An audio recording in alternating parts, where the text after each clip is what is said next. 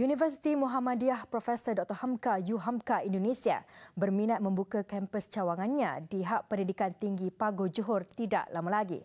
Menteri Pendidikan Mazli Malik berkata, pihaknya bersetuju membantu universiti berkenaan yang menyatakan hasrat itu Julai lalu.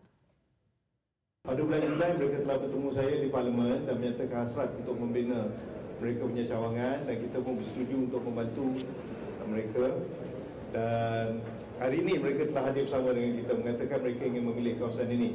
Dan mereka akan menumpukan lebih kepada uh, pasca sarjana ataupun postgraduate studies. Dan menariknya mereka akan membawa para pelajar daripada sana.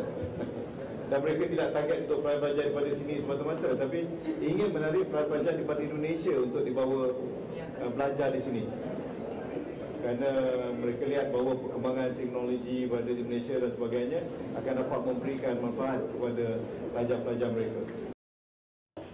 Beliau berkata demikian selepas mengiringi Menteri Dalam Negeri yang juga ahli Parlimen Pagoh Tan Sri Mudi Yassin melawat Hak Pendidikan Tinggi Pagoh semalam.